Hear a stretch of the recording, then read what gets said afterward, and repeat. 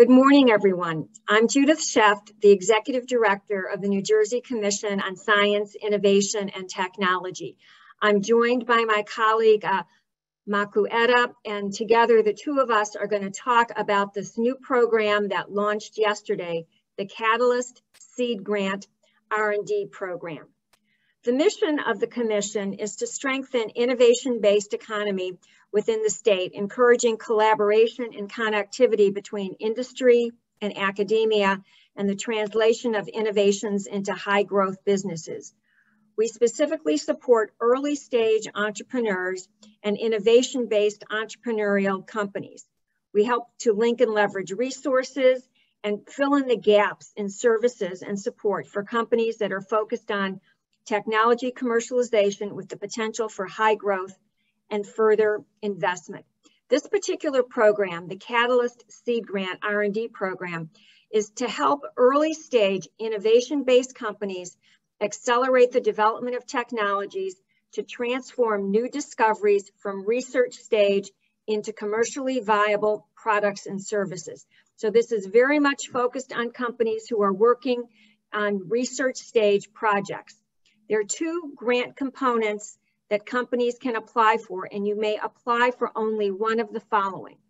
If you are a company that is working in the life sciences area, specifically on therapeutic drug development, research and development, you can apply for a grant of $150,000. For applicants who are working in other areas, such as advanced manufacturing, advanced transportation and logistics, film and digital media, other types of life sciences inventions, non-retail food and beverage, professional and financial services and technology can apply for grants of $75,000. Companies who are working specifically in the clean tech space are not eligible to apply for the Catalyst grant we will be having a catalyst. We will be having a clean tech seed grant coming out in the first quarter of 2022. So what is the purpose of the grant? And I'm gonna go through both the 75K grant and the 150K grant, talking about the types of documentation that's required, eligibility requirements, and then Maku, towards the latter part of the second half of the presentation, is gonna walk you through specifically the online application form. So again, the purpose of the grant is to help increase the intensity of research, including advanced manufacturing, advanced transportation logistics, film and digital media, life sciences other, non-retail food and beverage, professional financial services, and technology. And on the next slide, you'll see what are the eligibility criteria to apply for the grant. So First, a note, you must be eligible at the time that you are submitting your application and you must maintain that eligibility during the entire evaluation period. So what are the eligibility requirements? First, you must be authorized and in good standing to conduct business in the state of New Jersey as evidenced by a current New Jersey tax clearance certificate that lists the New Jersey Commission on Science, Innovation, and Technology on the tax clearance document. Second, you must have a minimum of one full-time equivalent employee with at least one employee working 50% of their time on the project being proposed. So you could have a business that is made up of two people who are each working 50% of their time on the project and that would be acceptable because you've got the one full-time equivalent employee, you've got one person working at least 50% of the time. You could not be eligible if you had 10 people each working a tenth of their time on the project because while that would equate to one full-time equivalent employee, you would not have one employee working at least 50% of their time on the project. The third criteria is that 50% or more of the work of the employees or contractors need to be conducted in New Jersey. And again, this is calculated on a full-time equivalent basis. On the next slide, we have some additional eligibility requirements that again need to be maintained at the time of application and during the entire evaluation period. At least 50% or more of employees or contractors working in the business either have to live or pay withholding taxes in New Jersey. Again, because the commission is focused on very early stage companies, the company must have less than $2 million in prior third party funding over its lifetime, excluding government grants. So again, we're looking at that $2 million, but we are excluding government grants that could be SBIR, STTR grants or contracts. Those do not count in this $2 million calculation. In terms of the size of the company, the company must have less than $500,000 in previous calendar year sales revenue. Because again, we're trying to focus on very early stage companies. On the next slide, I'm going to talk about the required documentation.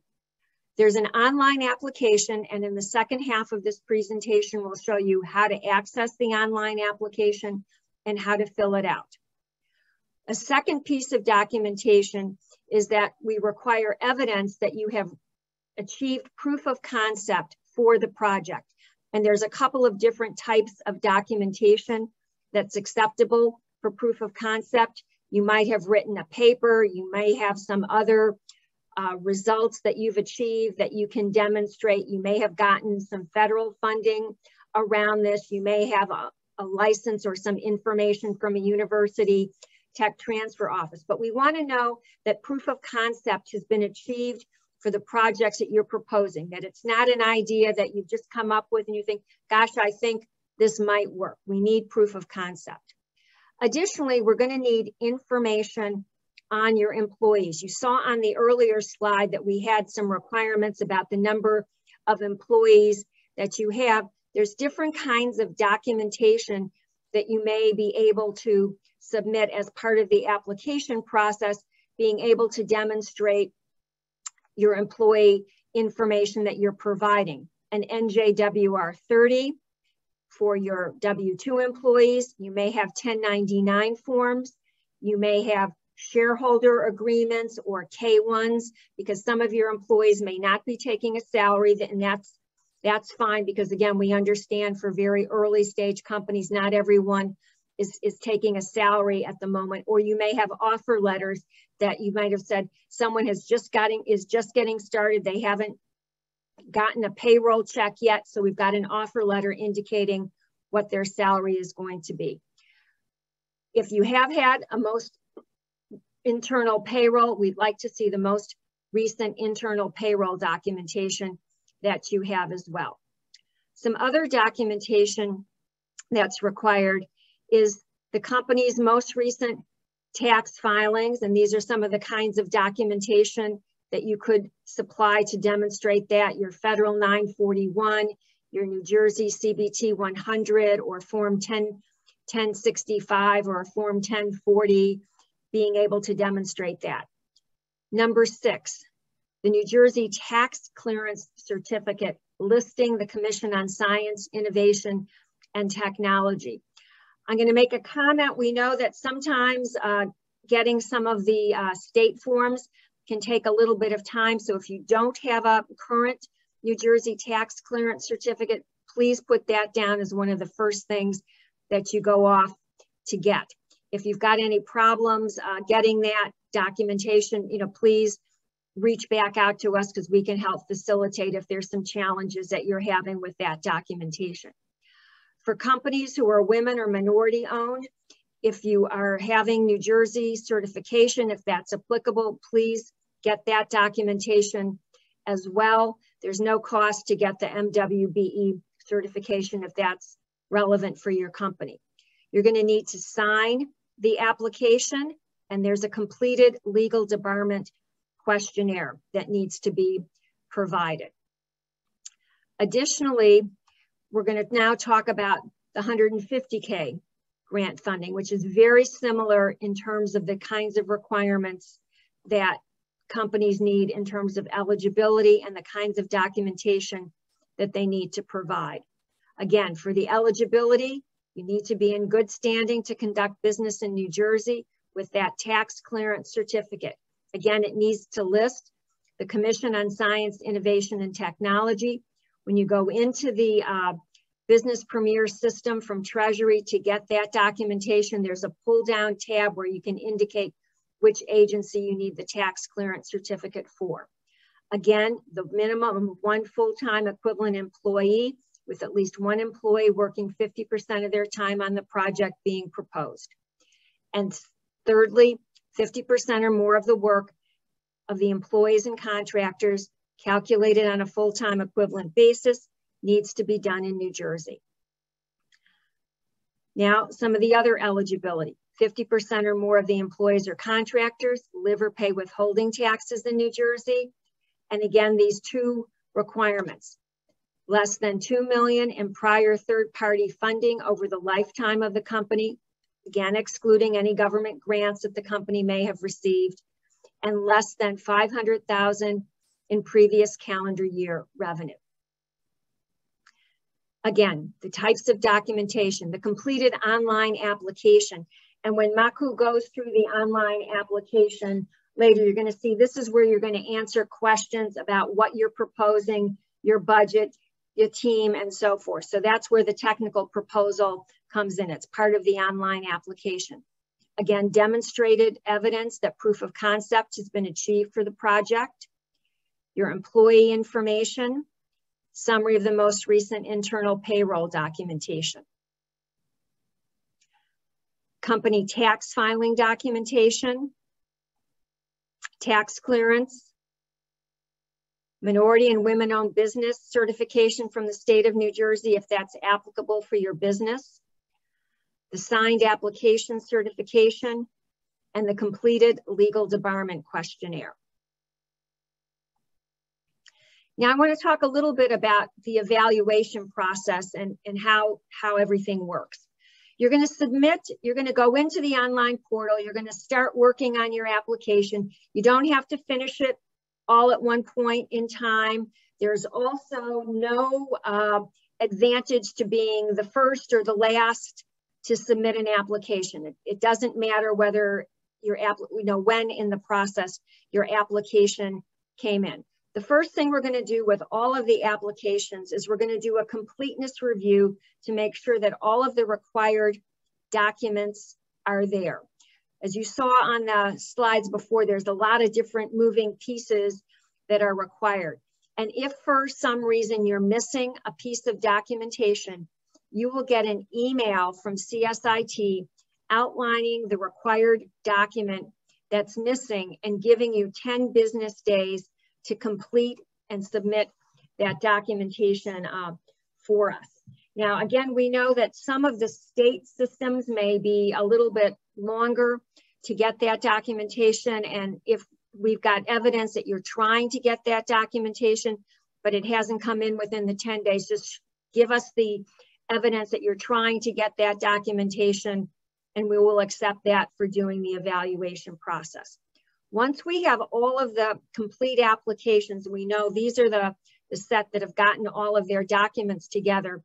We're going to do an external review with subject matter experts who are going to provide some input in the evaluation of the technical and business merit of the projects being proposed, because there's no way that the CSIT staff is subject matter knowledgeable enough on everything that's being proposed so we have some external reviewers who are under non-disclosure who will provide some input to us.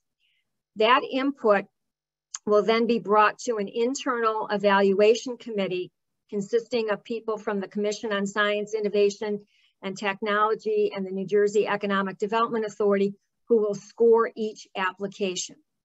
The evaluation committee may contact the uh, applicants for some clarifying comments and there is an opportunity for the uh, applicants to make a brief presentation to the evaluation committee on their application.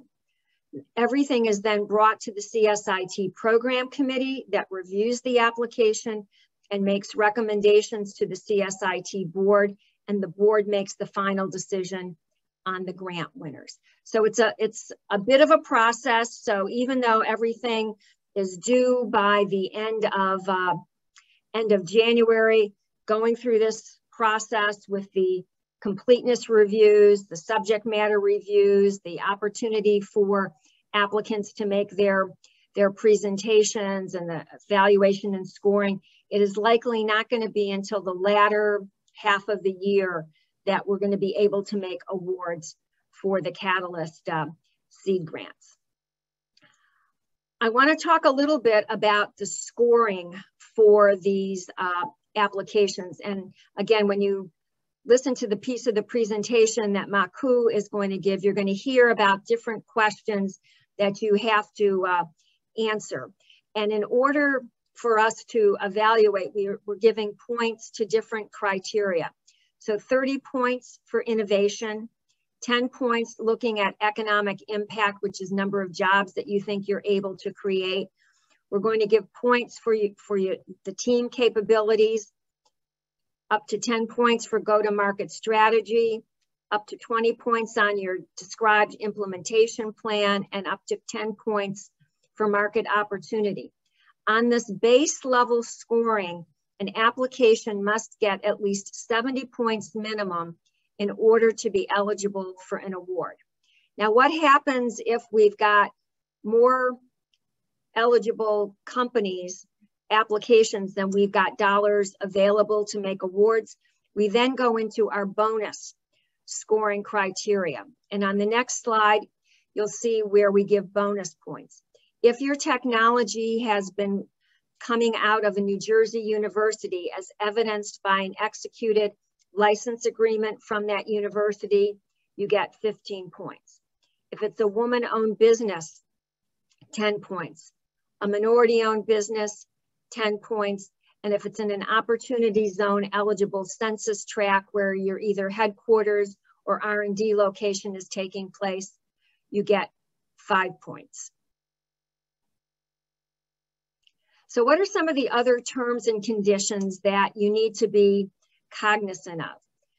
You have to agree if you get an award from the commission, this is similar to requirements for our other grant awards, that you will maintain 50% of your research development, manufacturing, and commercialization work in New Jersey for a period that should say three years. It, it, says two, but it's supposed to be, I see the word says two, that should be three as, as it's indicated as the number three from the effective date of the grant completion and two years.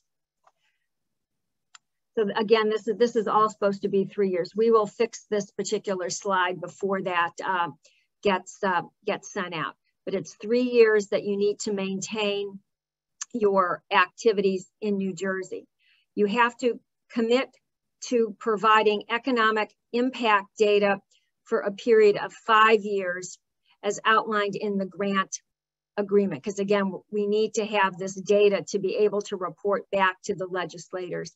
And all grant awardees are invited to participate in different uh, CSIT alumni activities, uh, conducting interviews and serving as panel members. And as I said, we will correct this particular slide in the in the version that is uh, that is posted so that we've got those we've got that information uh, correct for you.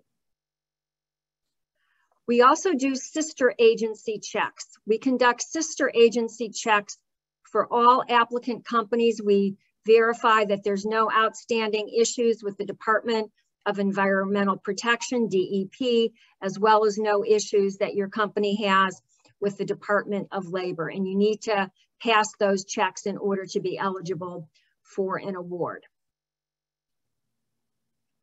Now some critical information. The application portal opened yesterday and if you've got any questions, we've got the link for where you where you apply and Maku is going to show you that shortly. If you have any questions, you can call us, you can email at csit at njeda uh. Uh, both Maku and I look at that and we encourage you to be sure that you include that email address in your safe email addresses to avoid having it land in a uh, in a junk junk box or junk folder because that's going to be particularly important is that's how you're going to get information about any missing documentation that you need to provide. Now, I want to talk briefly about this electronic signature option. It is only an option. Some people are not comfortable uh, providing an electronic signature on the certification document. The online application will allow you to do it that way, but if for whatever reason you prefer not to do the electronic certification, you can mail us a hard copy of that portion of the application only. And this is the address where you would mail it. And you would also send us an email letting us know that we should be on the lookout for that particular uh, certification uh, documentation. Additionally, as I mentioned, with this missing documentation, you will get an email from us indicating what documentation is missing or incomplete, and you will have 10 business days to get us that missing documentation. And again, when Maku goes through the pieces, typically what we end up seeing sometimes is missing is people don't have their tax clearance certificates yet. They may not have women and minority business certification, or they may not have provided all of the employee verification documentation. And again, you submit the email with, you, you're not able to go back into the system to add your information to your application. You need to email us with your documentation attached and to make it easy for us, just please use the subject line, Catalyst Seed R&D Program, missing documentation submission, and the name of your company so that we can easily put that into the online uh, record application uh, for you. If after the extension date, we've given you those 10 days to get that missing documentation and it has not been submitted, then your application will be considered incomplete and it will not be scored and it will be rejected. So please, if you've got missing stuff, please pay attention to those, uh, to those deadlines. Again, we know that there are COVID delays that are impacting some of the state systems to get documentation. So if you have attempted to get the documents, but do not have them by the extension date, just provide correspondence, email correspondence or receipts, some sort of evidence that you've attempted to get that documentation, then your application will be deemed complete for scoring purposes and the missing documentation, however, must be submitted before we can make any recommendations of an award to your company. So we're at least letting the application get scored, but we cannot make awards until all of the missing documentation is provided. So again, the timeline, our applications opened yesterday. We're holding our informational webinar today. Applications close on Monday, January 31st at 5 p.m. So you've got that last weekend right before, if you're still working away, you've got that last weekend to finish it up, but it's closing at 5 p.m. on January 31st. And again, the reminder about the missing documentation. Again, the online application link is there and the direct link for the application uh, is shown as well. And at this point, I'm going to turn it over to Maku, who's going to talk us through how to access the online application system. Thank you, Judith. So I'll, I'll quickly try and go through this um, very carefully. Um, and please, again, as mentioned in the beginning of the presentation, feel free to submit any questions in the Q&A section below. So there's two ways to access the online application. You can find us on www.njeda.com forward slash CSIT forward slash Now this link will take you directly to our webpage in which you'll be able to find the, um, if you scroll down, as I'm showing here, this is our uh, website. If you scroll down to the section of grant opportunities, you'll be able to find the Catalyst Seed Grant Program. Once you click on that, the program guide will pull up. There is an online application link that you can select and go directly into the application. There's also the notice of funding and some of the support documents that you're actually going to be required to fill out, such as the milestone and budget template, which I'll talk about in a moment. Um, so once you click on the application, you're then brought into the application portal. Now, if you just want a direct link to the application, you can type in this address application.njeda.com forward slash CSIT, and that link will directly take you to the beginning of the application.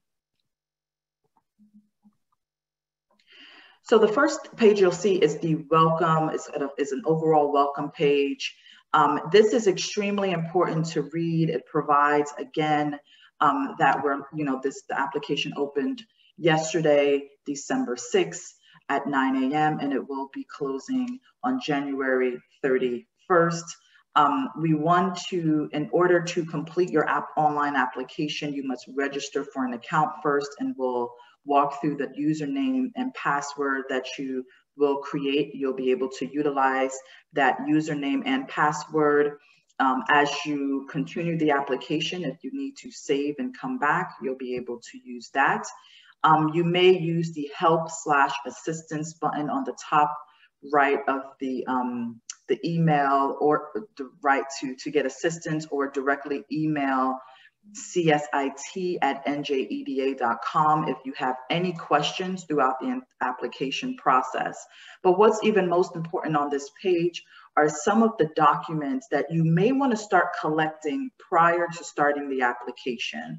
And this is important because you're going to be asked to upload these documents. So one, as Judith mentioned earlier in the presentation, is your employee verification documents. We will be asking you to submit um, employee verification documents, 1099s, W-2s, um, K1s or offer letters depending on the employee type.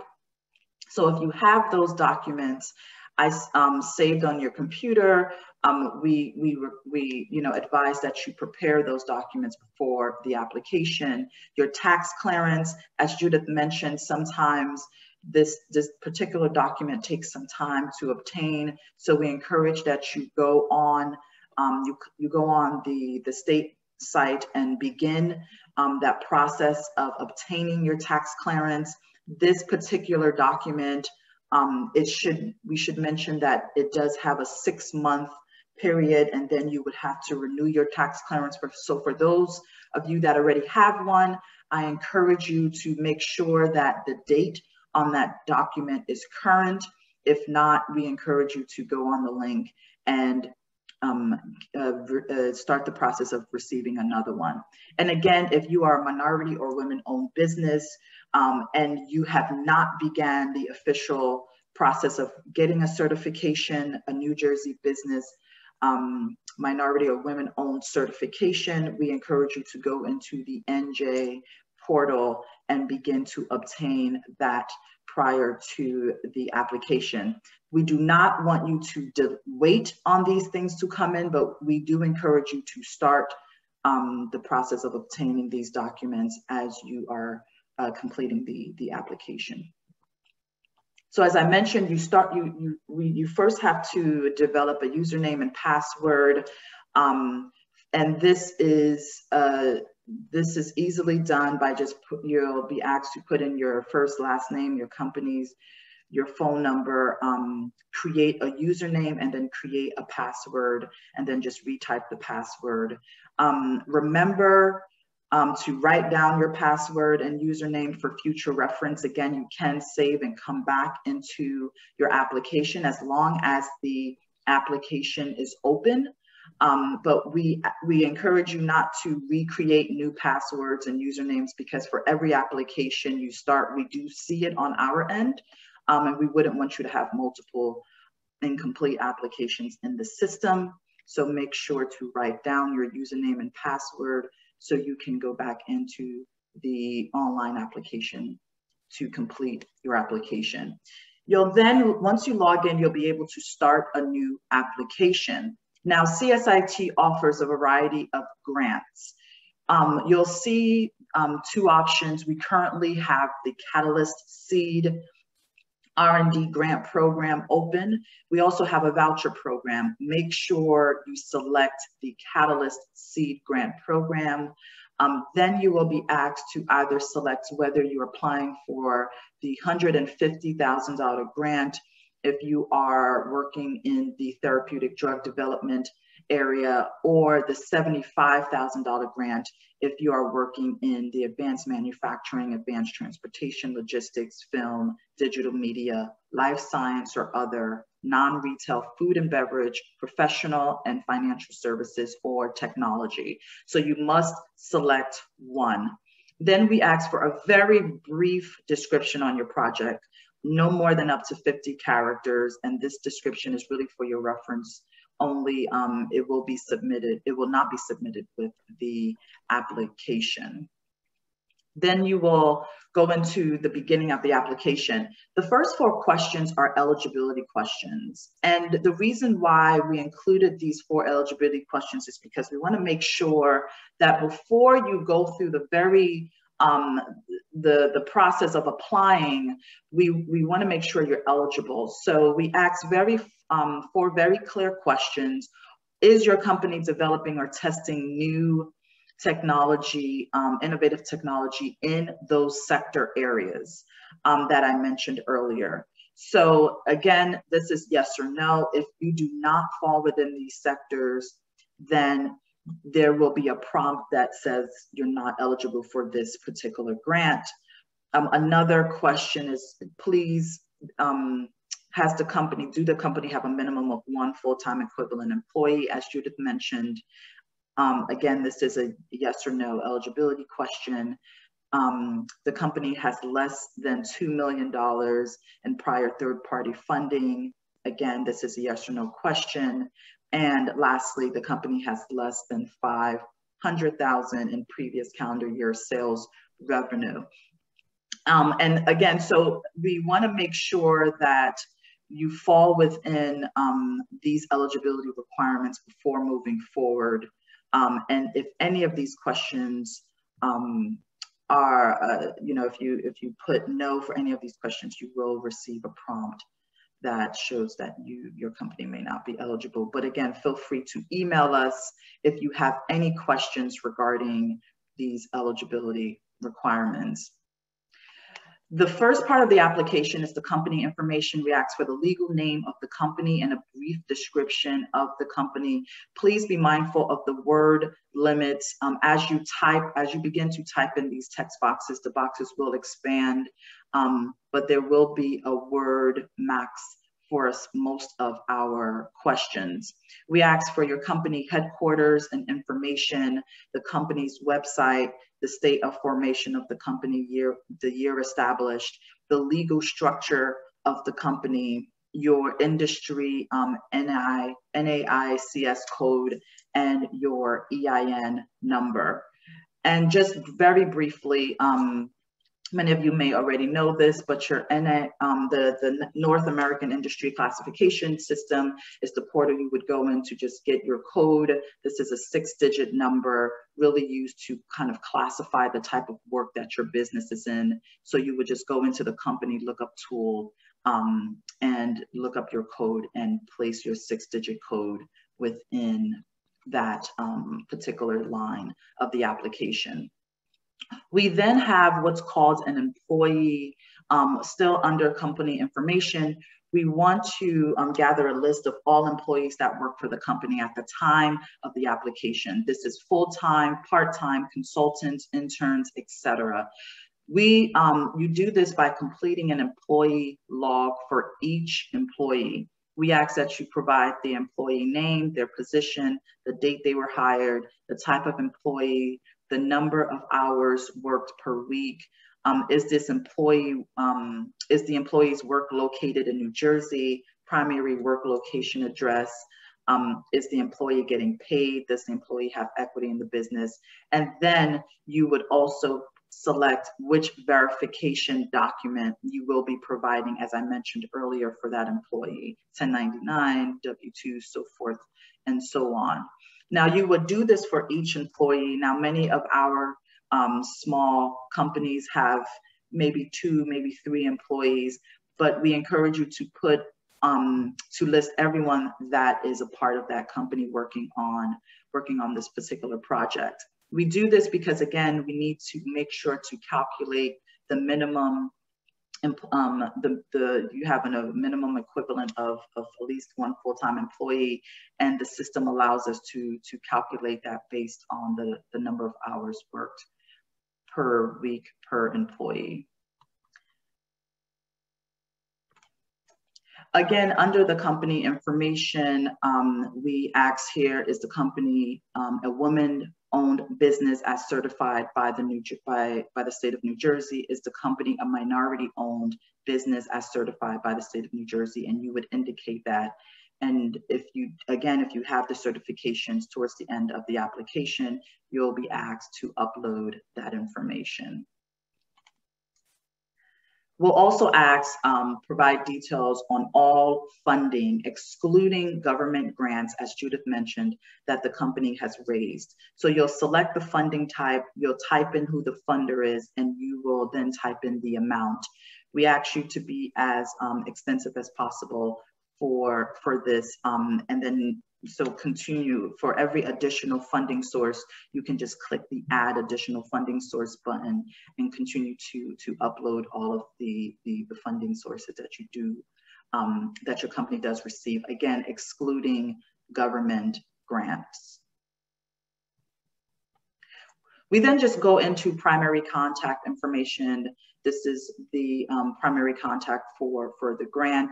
We ask for your contact details, name, job title, address, gender, ethnicity, um, if you are a veteran or any disabilities. The project description is, is the main part of the application. Um, we begin by asking which sector, which, um, which you know, industry sector do you fall into? What sector is your proposed seed grant project in? You will check off one of these areas briefly describe the innovation that your company is developing and for what application. Again, we want you to be very detailed in the project description section while being mindful of the word limit. Um, please be as detailed and as specific as possible as you go through this section. We want to know who or what um, are the incumbent players in the ecosystem um, and their respective kind of solutions to your proposed projects. Um, we want to know this because we, we're, we're very interested to make sure that, for instance, you've done your due diligence and, and getting a sense of who else out there um, is working in this space. We ask for the name of the company, um, the proposed solution, and just you know as you as you write type this type this up just please differentiate between the various companies so for instance, again, um, as you add in an additional company, you can just click the add additional company button button um, to add it to add a different company um, and the, the, the proposed solution. So for instance, there may be other uh, companies that are working um, on, on addressing a similar issue that your technology is addressing. And, and again, um, these are some of the, and this is, these are some of the details we were looking for. If applicable, list any intellectual property you have associated with this innovation or project. Um, again, you we ask for if you have a patent, um, the patent number, patent title, and the status of that patent, if it's pending or if it has been finalized. And as you move through this process, you can um, add additional um, patents if you have more than one. We then move on to a section called milestones and budget. We ask briefly describe how the funding will be used to further the research and development of your technology. Um, and we included a milestone and budget template that we request that you use, fill out, save, and then upload later in the application. This is what the milestone document looks like. Throughout the one year of this grant, we ask that you just think about some really brief um, milestones that you anticipate will be accomplished in quarters one, two, three, and four. Um, these are really kind of high level, but yet um, high level specific milestones that you, you aim to accomplish. And then you can be more specific um, and detailed in this previous um, question here where you're asked to briefly describe it. Um, but here we, we, we want to get a sense of um, what can we expect your milestones to be for the duration of the grant. You would also include your company name, the start date of the project, um, as well as the end date of the project. We also provided a template for the budget. Please use the template as it's designed. Um, we just asked for a breakdown of your personnel, equipment, materials, external services, um, any marketing or, or legal expenses. We ask that you sign and date the budget. So you would fill this out, save it, and then upload it towards the end of the application, which I will um, I will just I will uh, discuss once we get towards the end. We have a go-to-market, a few go-to-market strategy questions. Describe your proposed business model. Who are your target customers and how do you intend to market your solution to them? How are you planning to scale up your business in the next three years? Now, again, the grant is for one year, but we, we, we're really interested to see how you look to expand your business. In our economic environmental impact, we're very interested, one of our impact measures really looking at job growth as that's one of the, that's the mission of the commission. So we asked how many jobs do you intend to create again in the next three year, in the next three years and in what particular fields um, within your company. We actually to list all the team members who are proposed to be involved in the project, including a brief description on their roles and um, the role that they will play. So again, the name, the title, um, the any post-secondary degrees that, that have been received by that individual, and just a brief bio on your team. And you can, again, as you hit continue, you can, um, there will be an add more button where you can add as many team members um, as you have on, on your team within the company. Judith mentioned um, that we'll have an opportunity for virtual presentations um, from the applicants regarding your proposal. We find that these virtual presentations really help companies further describe their work and, and, and make any clarifying points. So we want, um, we included this acknowledgement that each applicant will be willing to um, conduct a virtual presentation. We find that this only really helps to uh, really further clarify your proposal. So you would just check this box off um, and agree to a brief presentation and hit continue. This is the an example of the legal questionnaire that Judith mentioned that you would review, sign, and then send back to us. Again, um, for this particular part, we ask for any applicable affiliates. Affiliates means any entities or person having an overt or covert relationship such that any of them have, um, any one of them have directly or indirectly controls or has the power to control another. So again, where we ask for any affiliate companies um, that's connected to your business, you would just report this, um, the name of the affiliate entity or person, um, provide the federal employment employer ID number, um, and submit that to, to us.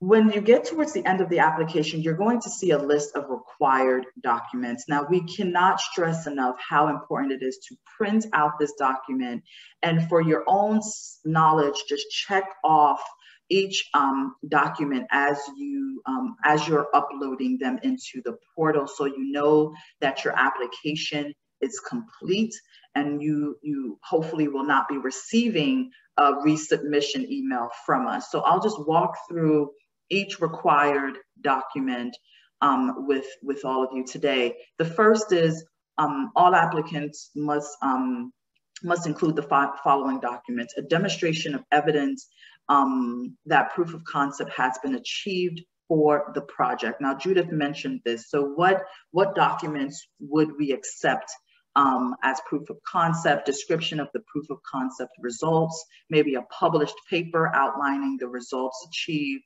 successful completion of a federal SBIR, STTR grant or a contract related to the project, confirmation documentation from a university tech transfer office um, if the project relates to technology that has been developed at a university. So any of these documents we will accept um, as evidence of proof of concept. You would just upload what you have and submit it to us.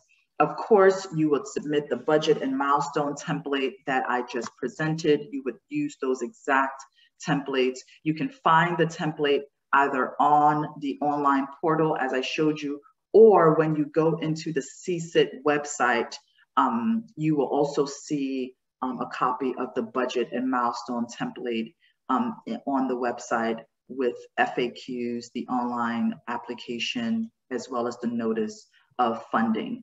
We also, of course, ask you to upload the employee information, the employee verification information. We ask you to upload the internal payroll documents indicating each employee's name and number of hours of work, and the most recent company tax filing documents. We ask for you to upload a tax clearance. Again, um, if you have never obtained one, um, please go on the state website and start this process as soon as possible. And if you do have a women or minority owned business New Jersey certification, we ask you to upload that as well. Um, Judith spoke of the signed CSIT certification that you can electronically sign or um, print, sign, and, and mail to us or email to us. Um, so again, please print out a list of these requirements. Um, make sure that you um, that each of them has been um, have been uploaded properly um, before you submit your application.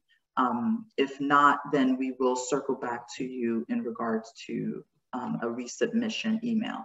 And this is where you would upload each document um, fine. If there's we you know you can upload them as a as a word document excel uh, word perfect text or or pdf um, as long as the you'll you'll as long one as you upload one after another you'll see them on your screen um, and then you'll be able to continue. Um, and then finally, you would submit your document. And we would receive an acknowledgement on our end um, and again, if you have any questions or run into any issues, feel free to email us at csit um, at njeda.com. Some helpful tips. Um, again, please go on our website and read the notice of funding. It's very specific in terms of the eligibility requirements, the um, required documentation, the timeline, the scoring, factors that Judith spoke about, as well as the bonus scores. So please make sure to read the notice of funding. Get an early start on the application. As you can see, there are a few sections that, that you do need to um, complete, and there are a few documents that we do need. Um, provide early, um, complete answers in the technical proposal section. Um, be as specific as you can, um, as detailed as you can regarding your project um, get the state documents if needed, the tax clearance, the, the minority women-owned um, or minority women-owned business certification. Email any questions to csit at njeda.com. And again, check for the missing documentation follow-up email from us um, because again, you have that 10 day period after you submit to get your missing documents in and we, we definitely do not want your application to be disqualified. Again, this is the link for you to apply. And if you have any questions, feel free to call really or, or email us. We, we check this email regularly. And at this point, I see that we have a few questions. Thank you, Maku, for uh, that great presentation. One of the things that is going to be posted on our website, in addition to the notice of funding, which I cannot impress upon you, print it out. I know we're trying to be green, but I think it would be helpful. Print it out, make some notes of things that you need to pull together in order to apply for the application. We will post frequently asked questions and questions that we answer during this uh, webinar will also be added to our FAQ document so that you'll be able to go back and refer to that. There was a question asking about how long it takes to get a tax clearance certificate if you don't have one. That could be a you know several week process and depending on your company's uh, you know particular you know circumstances. So please, if that's something that you don't have, go on and and start that process uh, right away. There was a question asking about revenue and is SBIR grant revenue included in the $500,000 revenue calculation? And the answer is no. SBIR grants are excluded from both the $2 million in funding requirement and they are excluded from the uh, revenue requirement. There was a question asking about founders when you're calculating the number of employees you have. Yes, please include founders as well as other individuals, whether or not the founder is or is not taking a particular uh, salary. There was a question about if you're having difficulty with MWBE certification, please also let us know if there's any particular issues that you're having, you know, with some of the certifications. Again, we know that sometimes these things take time. We may be able to assist, but again, as long as you've got some, you know, save a copy of whatever you submitted to them, or if you get an email back from the system indicating that your application is in process, take a screenshot and save that. There was a question asking if artificial intelligence is considered part of the technology area, and the answer is yes, artificial intelligence uh, would be considered. There was a question asking about whether or not you needed to have an SBIR or STTR grant in order to apply for the Catalyst grant. Maku's shaking her head no, no, you do not need to have a prior SBIR or STTR grant in order to be eligible.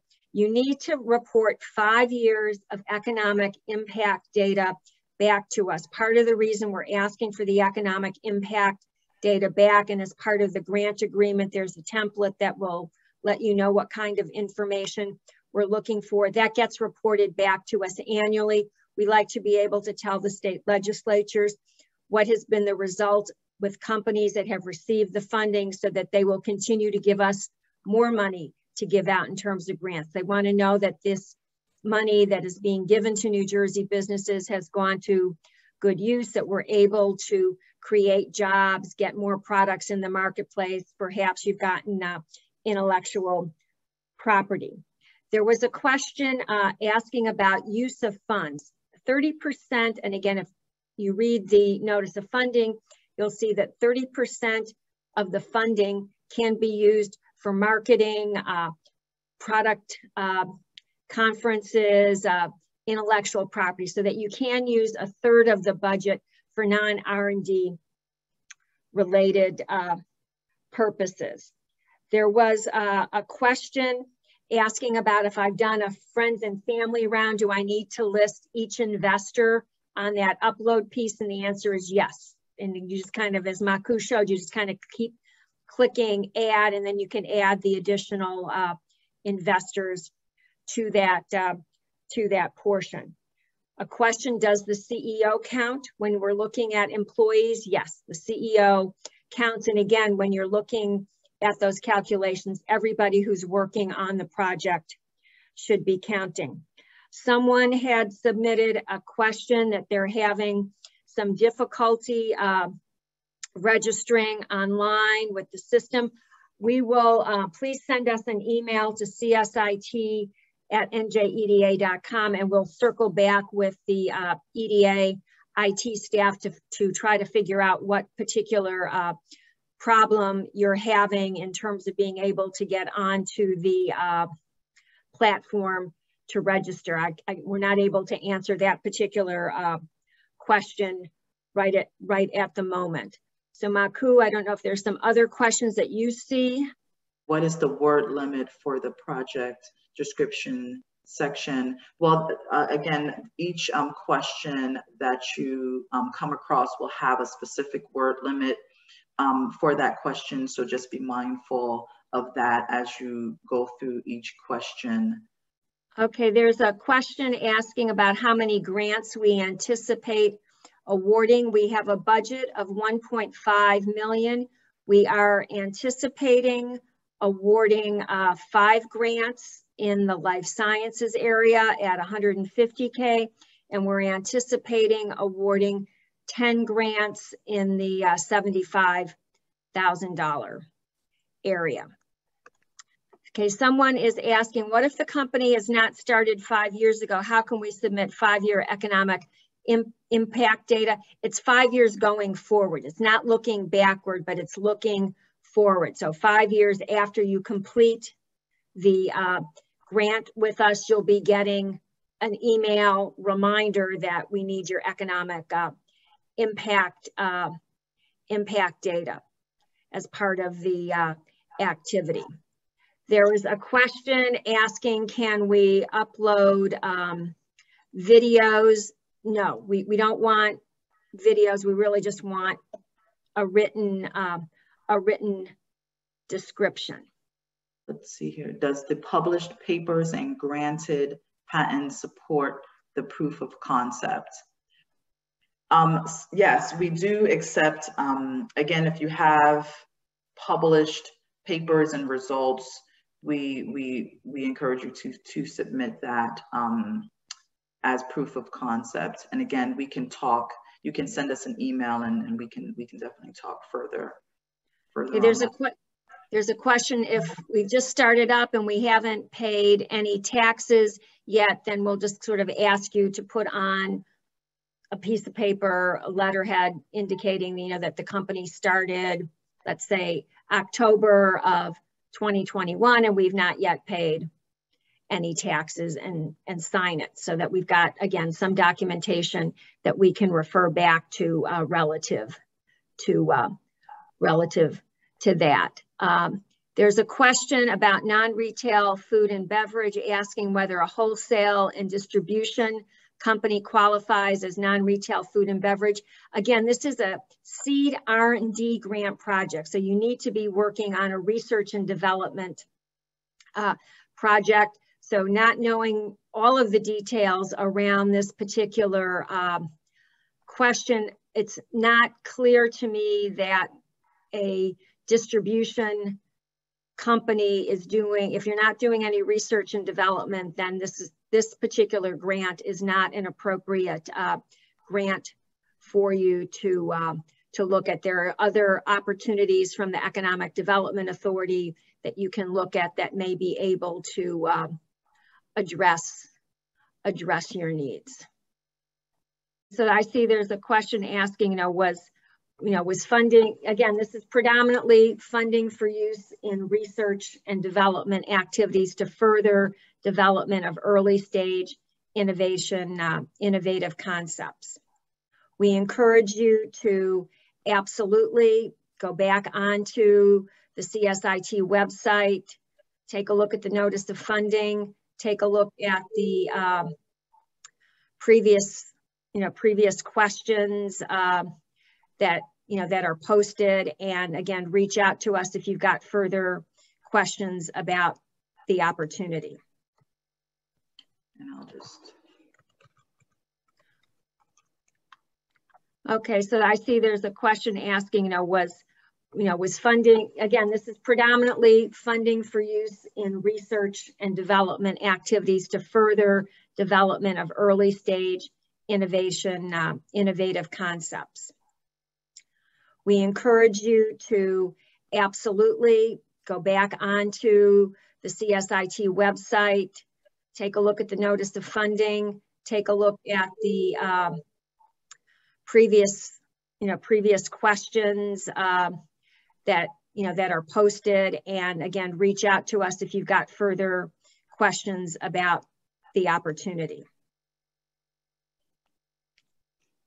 So at this point, we'd like to thank everyone for participating. We look forward to receiving your applications and appreciate all of your contributions to New Jersey's innovation economy. Thank you. Thank you.